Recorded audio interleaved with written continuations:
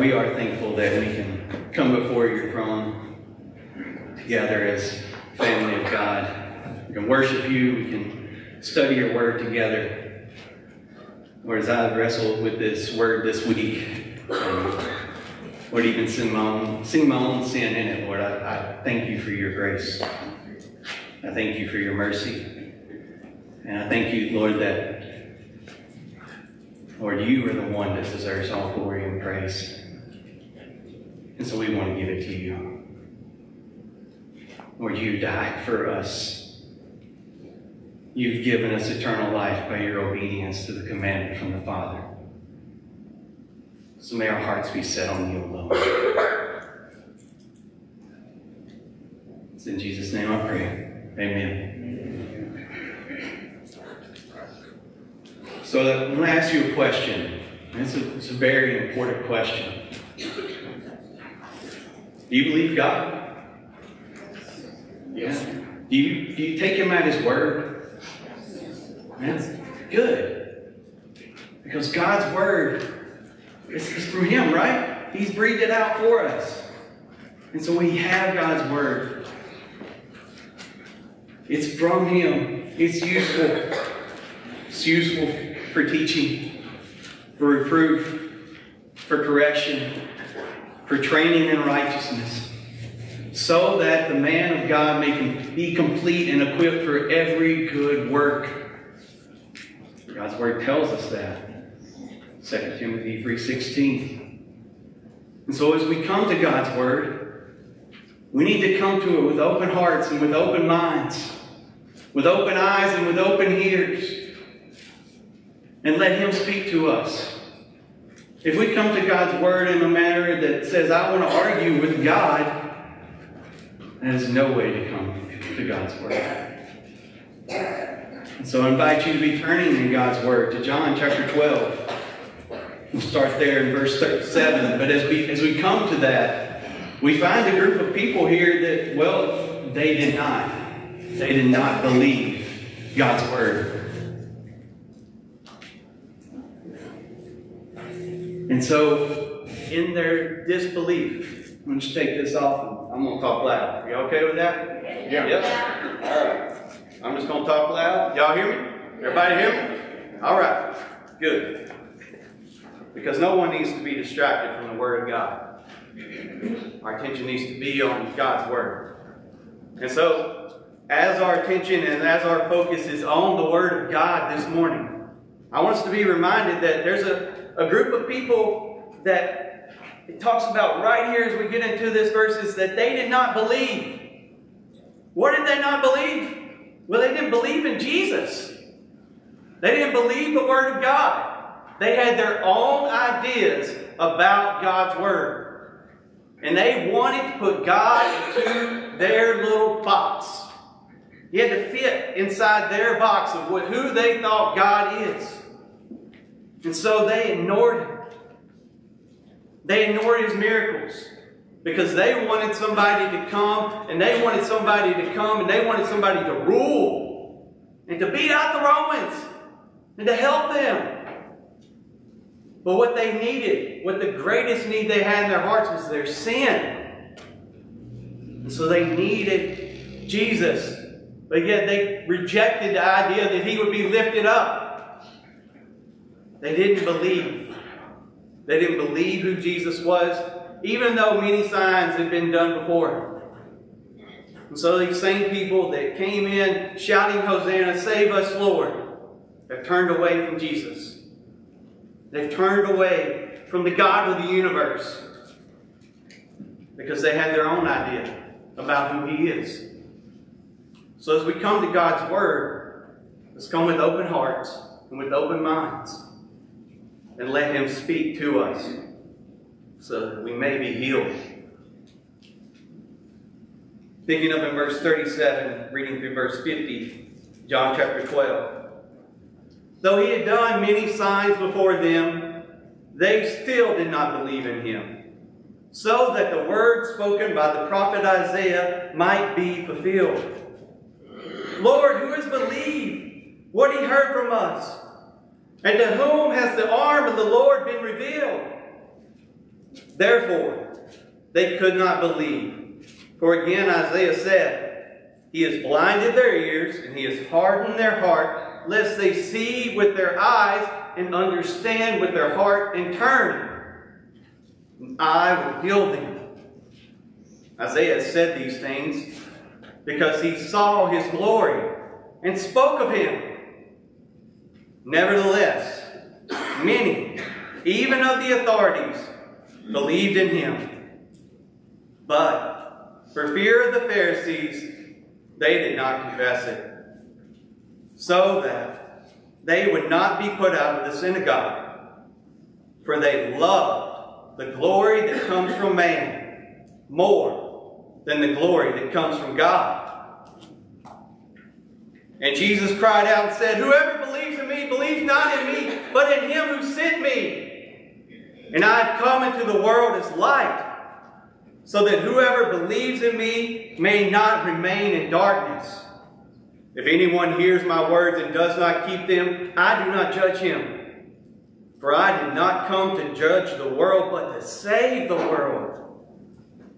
The one who rejects me and does not receive my words has a judge. The word that I have spoken will judge him on the last day. For I have not spoken out of my own authority, but the Father who sent me has himself given me a commandment what to say and what to speak. And I know that his commandment is eternal life.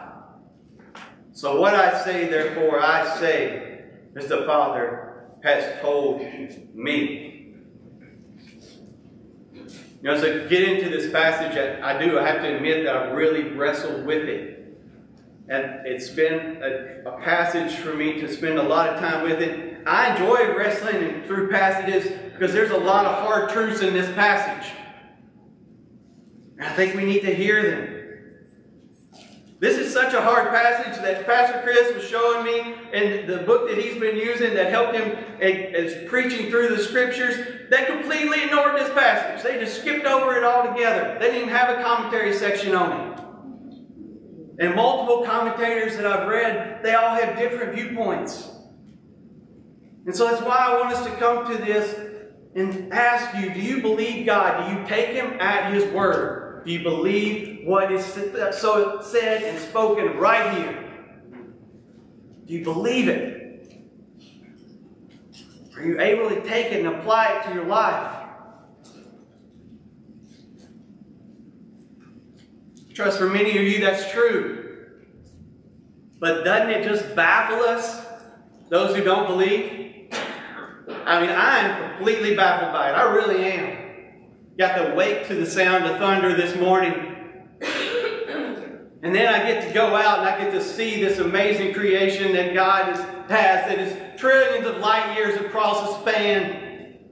Stuff that we can't even count, we can't even fathom. And He spoke and it happened. Wow! I mean, and, and yet, you got people that go out and they want to say that He didn't make us, that He didn't make this creation. Why? They're blind. They're blind. They're hard hearted. Their ears won't hear. And so they have no belief, they have no faith in who Jesus is. And so there are blind people that are spoken about in Scripture too. Jesus talks to us about how the Pharisees are blind. How they're blind guides. They're leading people to the pit. How are they doing that? By adding to the Word of God. Adding to the Word of God. Law that doesn't need to be there because God's law is sufficient. Don't need to have extra laws. We do need to hear the Word of God and respond to the Word of God with repentance. And so we don't need to fear those in any way, shape, form, or fashion. But God does call us to believe. And there will be some that who do not believe. And we don't need to be baffled by their unbelief.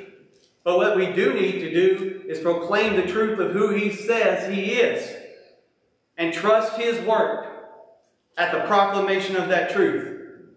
Because what did Isaiah say in this passage that is quoted right here? He's blinded their eyes, he's hardened their hearts, lest they see with their eyes and understand with their heart, and turn and I would heal them. That's from the Word of God. And so, after he, God showed that to Isaiah, after saying, I'm going to send you. And so he sends us out to amongst the people that he says, narrow is the gate. Broad is the path that leads to destruction. What are we to do?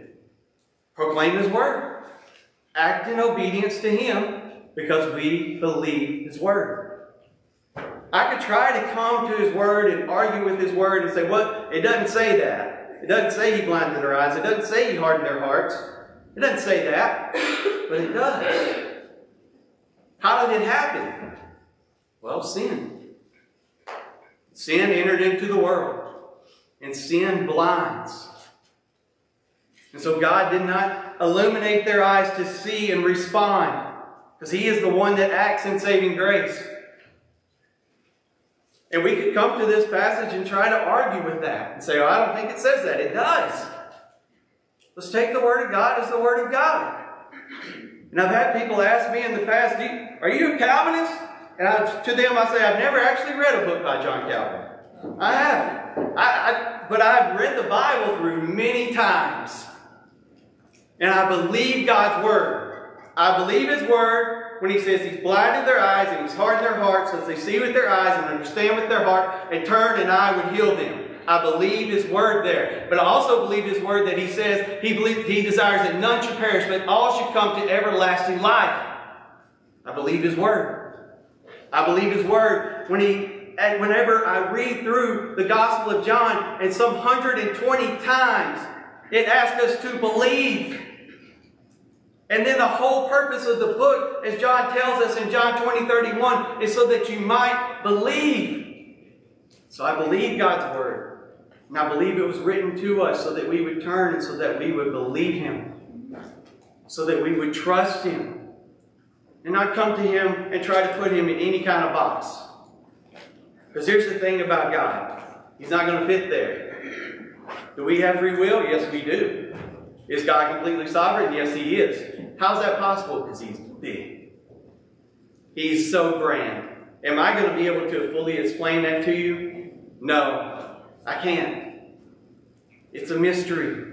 But it's one that the Word of God proclaims, and it's one that we trust because it's proclaimed in the Word of God. And Isaiah had spoken these things because he saw the glory of whom he spoke of. We see that in verse 41. And so, in this glory, as we're talking about, we read from one, he's in the throne room of God. And he's saying, Who's going to go for us? Whom will I send? And Isaiah says, Here am I, send me. So he sees the glory of God. And how, what does he do at seeing the glory of God? He says, Woe is me! I'm a man of unclean lips. Amongst the people of unclean lips. And so what happens? Well, something from the altar of God is taken to him, touches his lips, and brings about a cleansing. The altar of God is a, has been sacrificed once and for all for us, and we can be cleansed as we look to Jesus, the author and perfecter of our faith. And we have a cleansing that comes from Him. Praise be to Him. And as we see the glory that He spoke of, the other passage that is spoken up here, Lord, who has believed what they heard from us, and to whom has the arm of the Lord been revealed? That comes from Isaiah 53. And that is the point where we see Jesus as a suffering servant. See Jesus as the one who's by His stripes we are healed. He's pierced for our transgressions. And so, who has believed what he heard? To whom has the arm of the Lord been revealed? It's being revealed to us right now. God's Word. We have it right here before us. We can read it, we can understand it, and we can live. And we can live forever.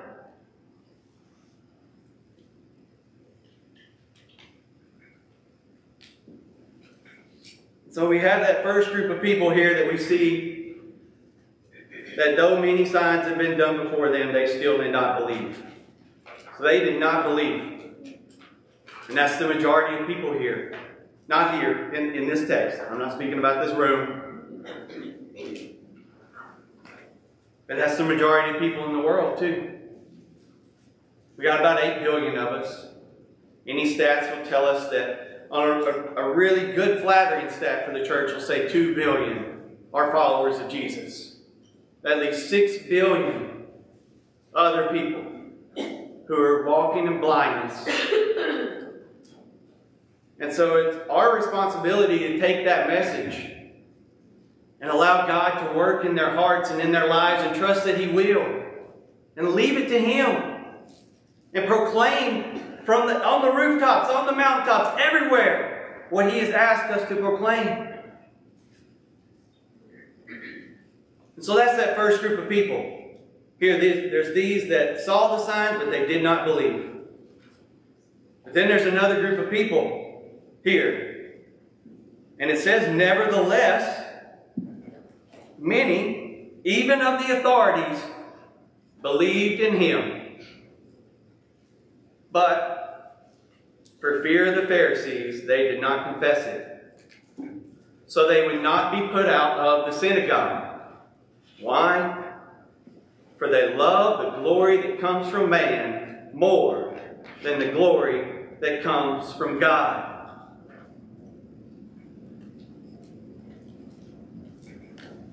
So as I was working through this passage, that verse 42 stood out to me first. It did, as I just read the whole passage all together. Verse 42 stood out to me. Nevertheless, many, even of the authorities, believed in him. But for fear of the Pharisees, they did not confess it, so they would not be put out of the synagogue. For fear of man. Man! And why? Were they afraid of man? Well, they liked the glory that comes from man. So they wouldn't stand up to man. And they wouldn't proclaim the truth of God's word, at least at this point that we see. But what we do see is it says that they believed in him. So what's going on here? Well, through some of the commentaries and things that I read, I had to pass along to me that, that John Piper said, well, their faith is flawed. I agree with that statement. So's John Piper's. So's mine. So's Lacey's. So's Pastor Chris's. So's the guys up in the booth. So's everybody that was singing up here. We have a flawed faith. We do. In many ways. But guess what we get to do? We get to take our faith and put it toward the author and perfecter of our faith and trust that He will perfect our faith. When we come to Jesus, we come with many flaws. You don't have to come to Jesus fitting in this tight little box of faith. You come to Jesus and say, I believe that you died for my sins and you rose on the third day. And in that confession, confessing Him as Lord over your life, He gives you a new life. He gives you the Holy Spirit. And through the power of the Holy Spirit, He convicts you of your sin. And we're able to turn and confess that sin and be healed and cleansed from all unrighteousness.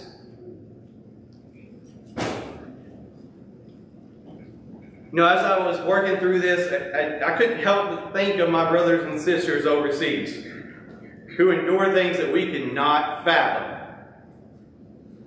because of their faith in Jesus.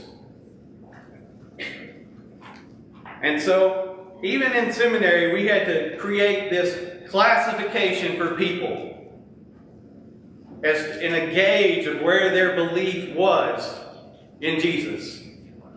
And so we call it C1 to C5.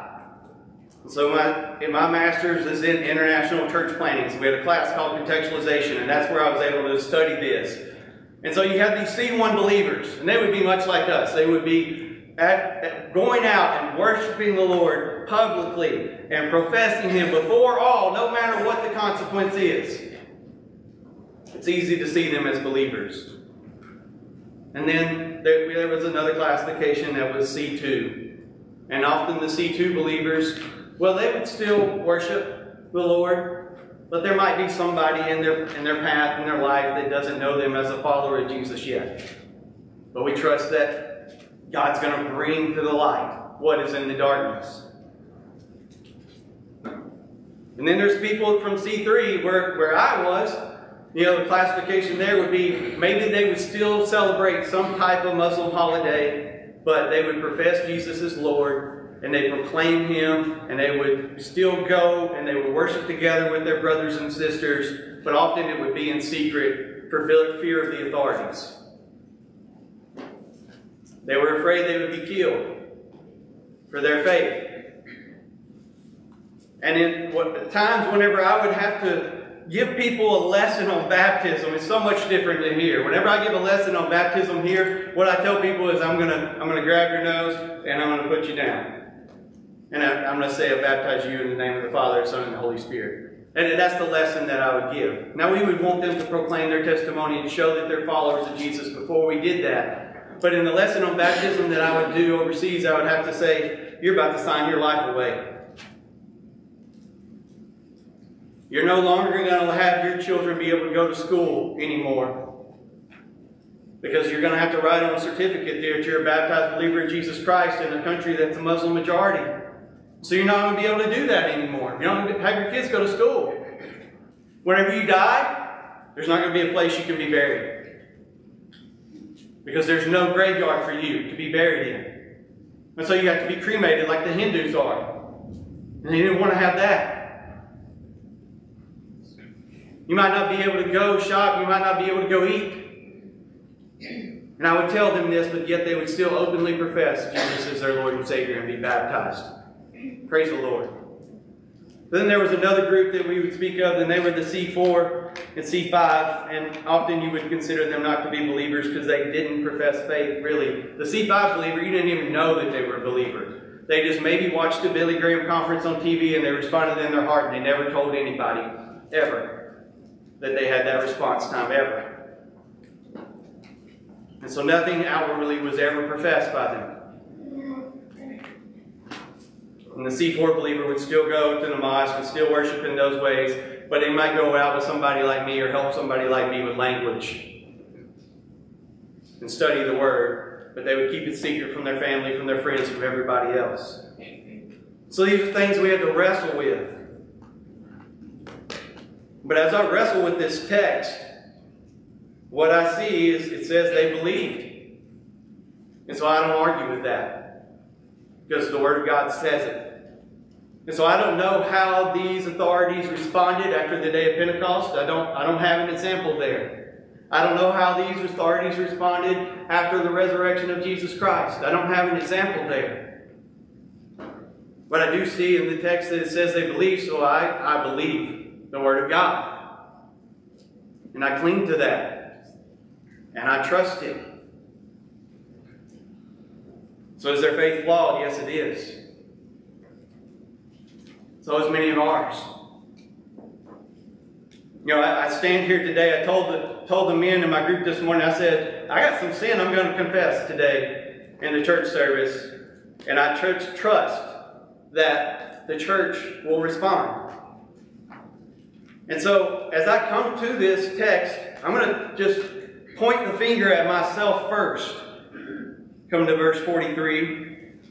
For they love the glory that comes from man more than the glory that comes from God.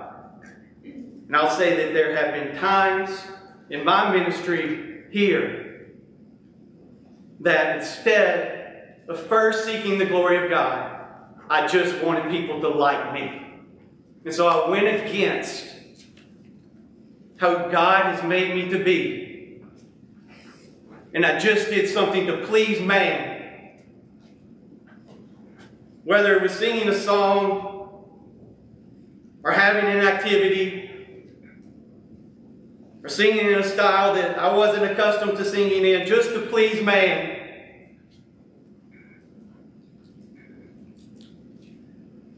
It broke my heart that I tried to please man instead of God. And so, church family, I'm here right now, and I'm confessing that to you.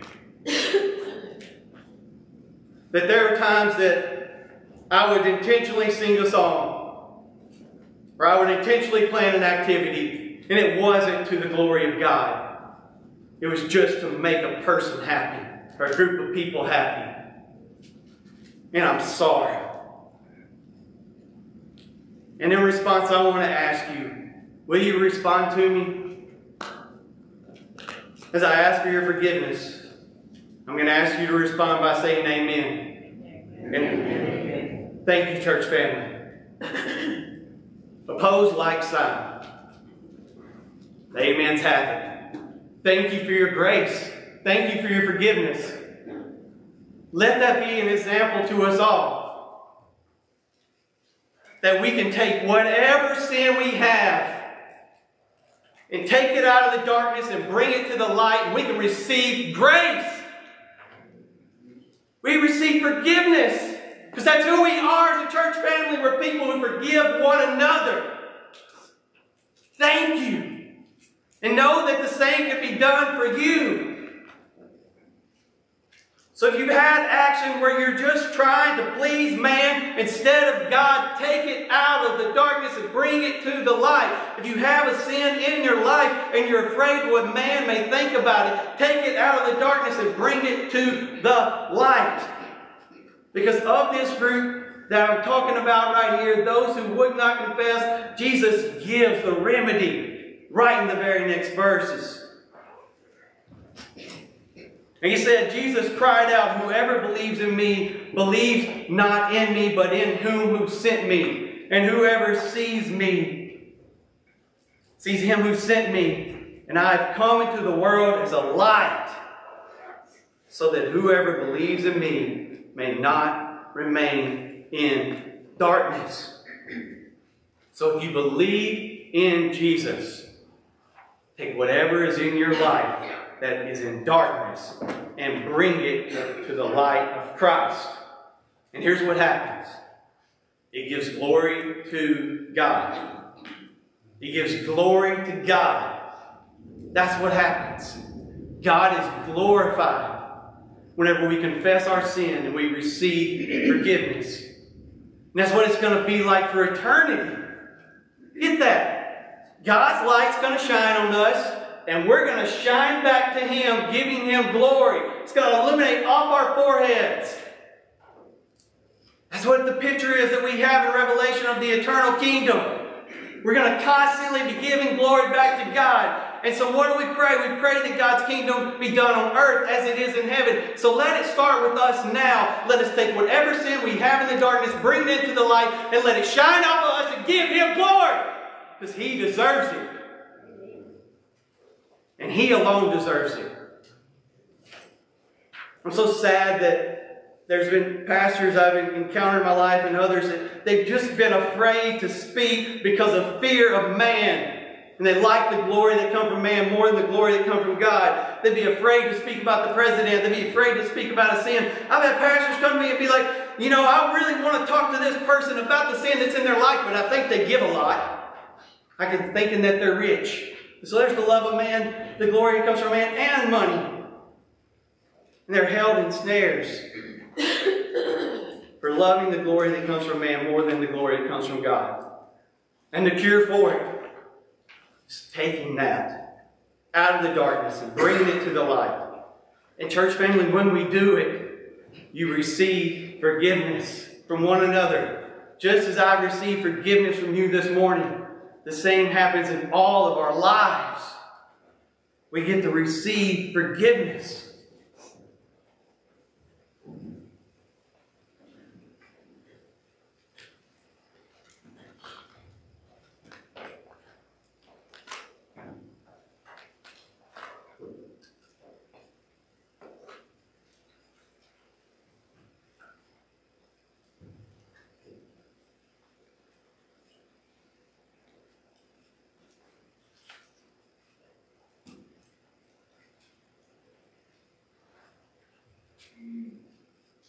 So as we talk about this group that they didn't believe, or they, and then the group that did believe,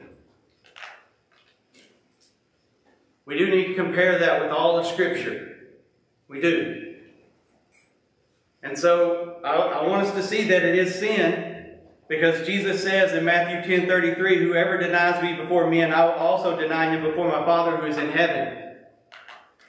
And in that context, in, in chapter 10, he's saying, Don't have fear of them, for nothing is covered that will not be revealed or hidden that will not be known. And what I tell you in the dark, say in the light, when you hear whisper proclaim on the housetops, do not fear those who kill the body but cannot kill the soul.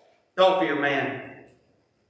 Rather, fear him who can destroy both body and soul in hell.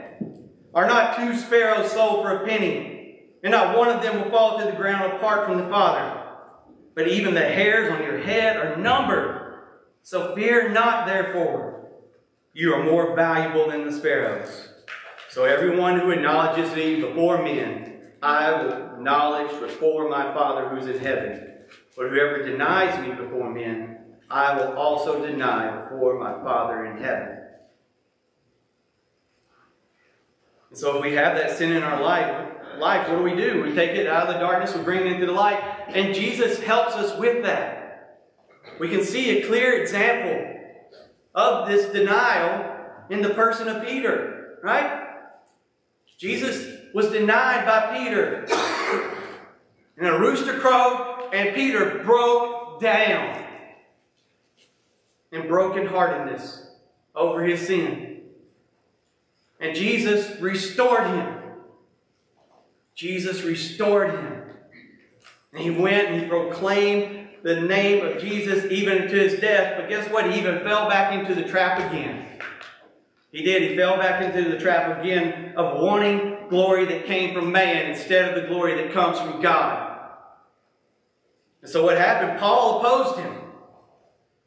So you come to Galatians 2 and see in verse 11, but Cephas came to Antioch and I opposed him face to face because he stood condemned.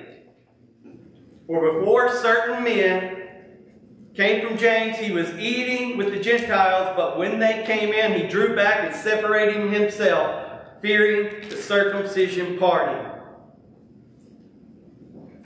He feared man, but praise be to God, he sent another man into his life to call him out on his sin, and then he's going to be restored yet again.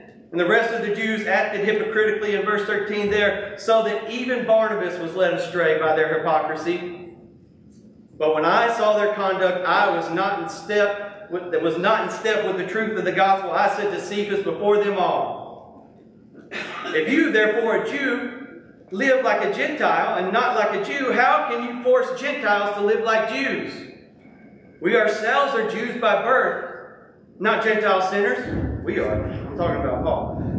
Yet, we know the person is not justified by works of the law, but through faith in Jesus Christ, so that we have believed in Christ Jesus in order to be justified by faith in Christ and not by works of the law, because by works of the law, no one will be justified. We are only justified by the work of Christ that takes place in our lives. And because of the work of Christ, we know that we can come before Him. And we know we can confess our sins and that we will be forgiven. As I said, picking up in verse 48 of John chapter 12, the one who rejects me and does not receive my words has a judge. The word that I have spoken will judge him on the last day. What are we going to be judged by, church family? The Word of God. How we live in accordance to the Word of God. So you heard me quote John Piper earlier. You're not going to be judged by his words.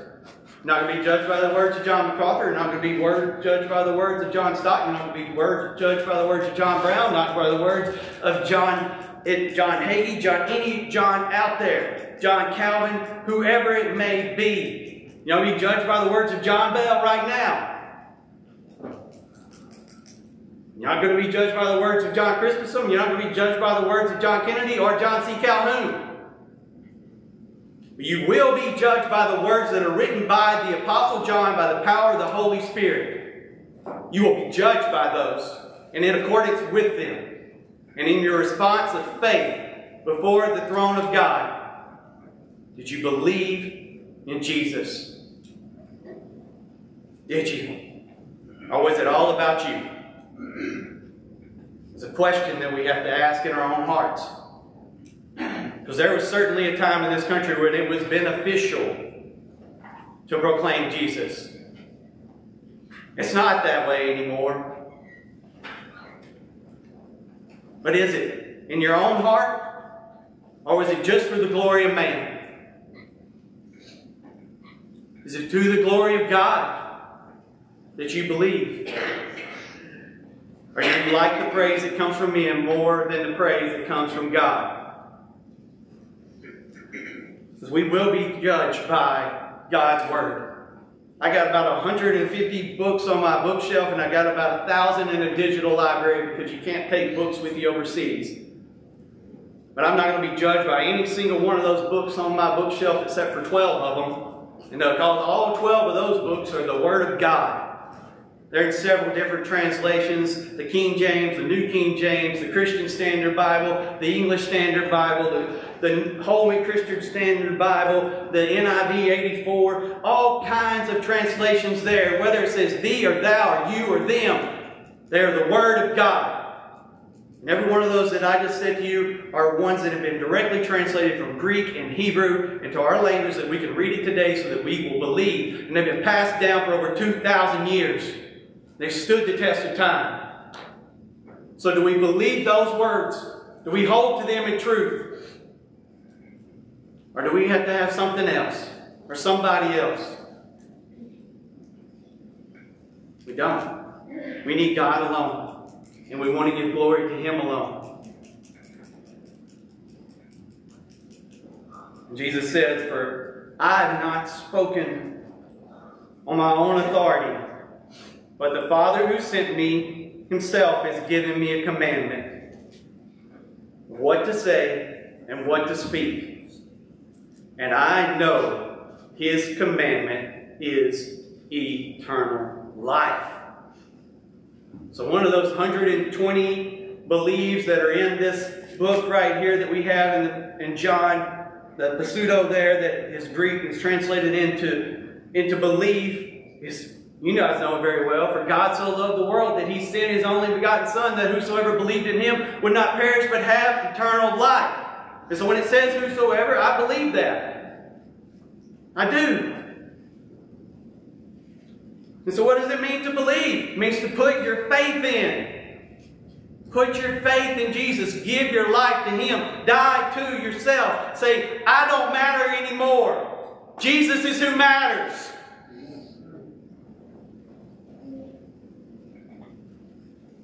To put your faith in something is not just a mental thought.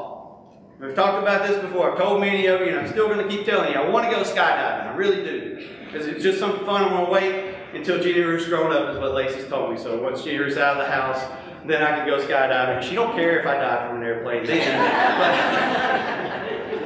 but, but I do. I want to go skydiving. Uh, uh, but here's the thing I can tell you.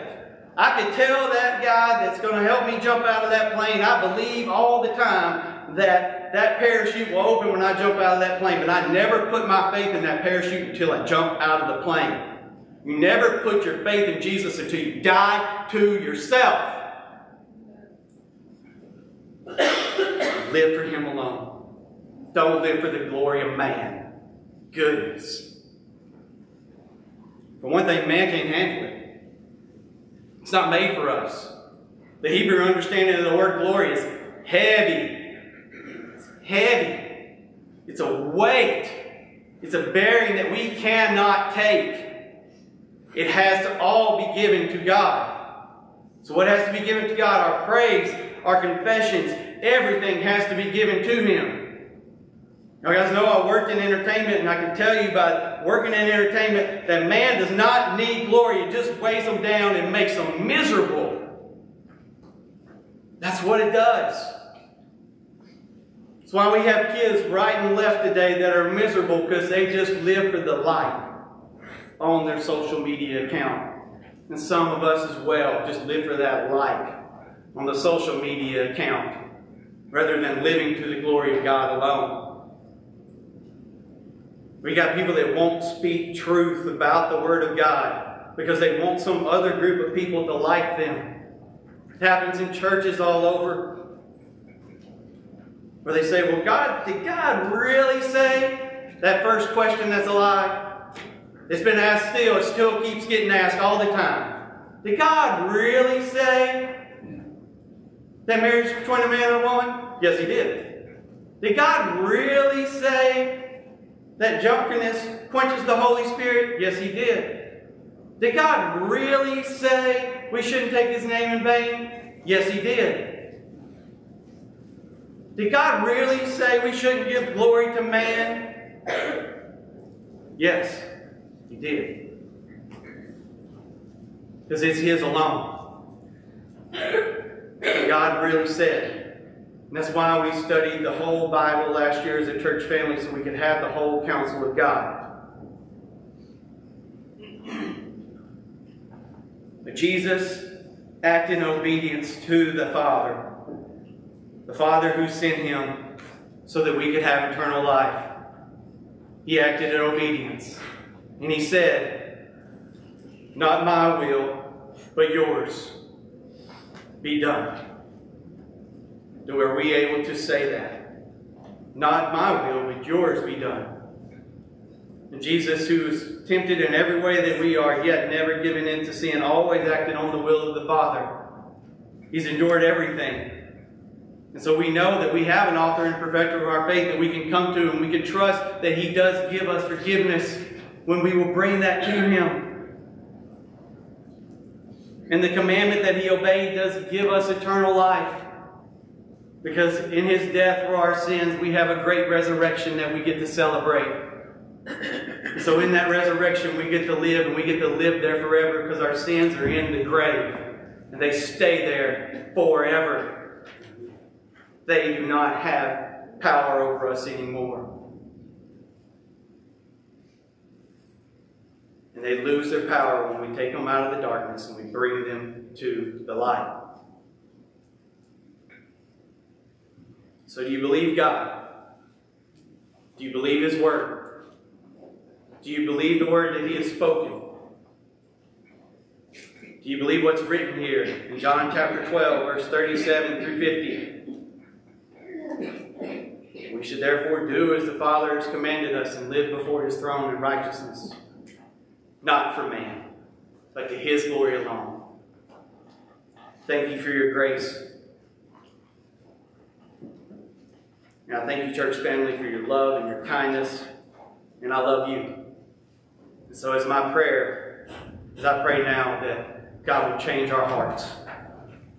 And that we'll live only to His glory alone. And that He will root out all unrighteousness within us, seeking to please man.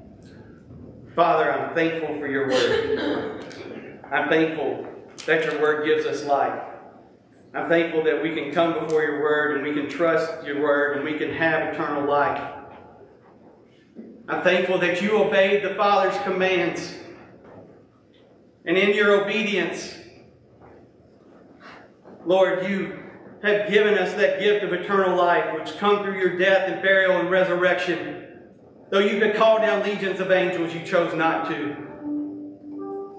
Lord, we say thank you for the grace that you give us. We thank you for the love that you've shown to us. And Lord, though we don't fully understand, there's some of Scripture that is yet still a mystery to us. We trust your word. And Lord, we trust you. And we trust, Lord, that when you tell us to take sin out of the darkness and bring it to the light, that forgiveness is available. We believe you. We believe you that we can come before your throne of grace.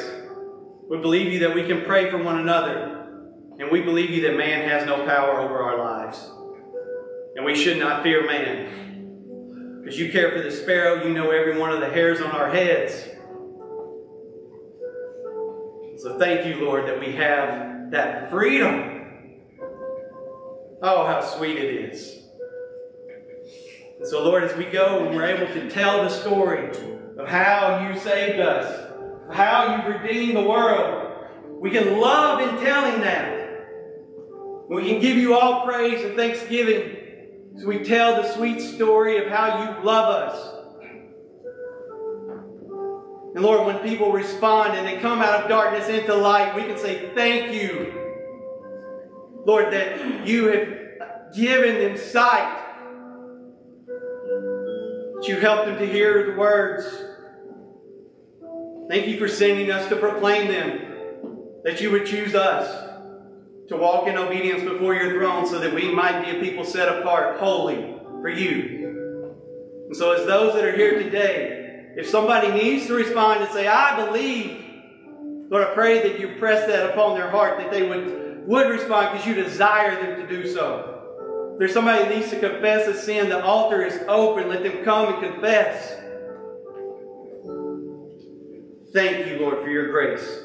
Thank you for the grace of your people who are the church. Thank you that we love one another and we show that. And Lord, thank you that that is how we show who you are and you're known by our love for one another. So as we praise you now, we're reminded how we love to tell this story. May you receive all glory. In Jesus' name, amen. If you stand with us and sing together, I love to tell the story.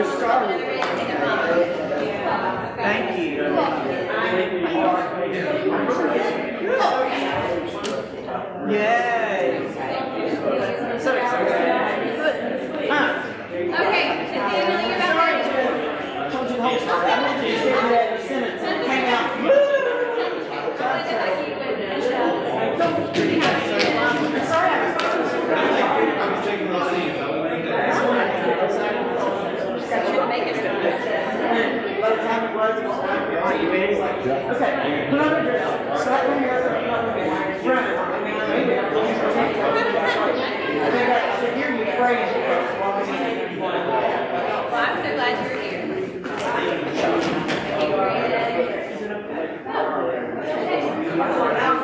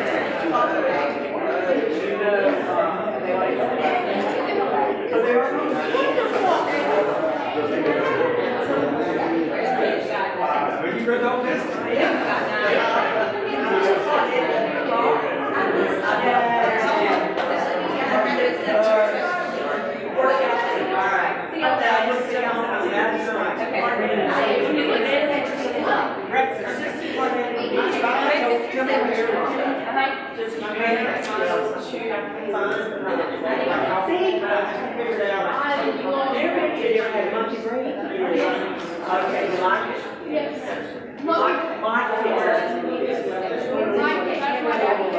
Is it? Oh, Come